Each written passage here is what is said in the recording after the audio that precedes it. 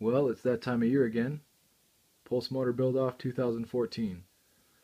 This year, uh, I'd like to use a kite and a ground rod and a capacitor, and we'll see what kind of power we can get out of the air. um, I'd like to make the box kite. We'll see uh, what time allows. Uh, in the fabric that I'll be using, I'm going to sew some aluminum foil uh, into each panel of the box kite and attach all of those to some 30 gauge AWG wire I've got left over from the EPG build.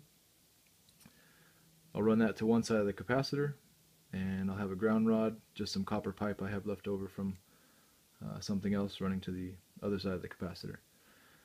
Depending on what kind of charge that builds up, uh, that will determine the type of circuit and motor I'll be able to use.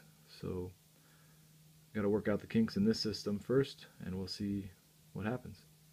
Good luck to all the contestants and I'm looking forward to everyone's updates. We'll see you soon.